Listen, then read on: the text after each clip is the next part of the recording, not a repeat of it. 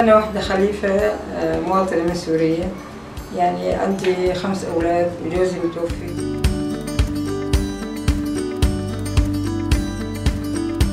يعني تمنيت إنه يكون عندي ماكينة بالبيت مشان أخيط يعني وآخذ راحتي بالبيت يعني وأستفاد.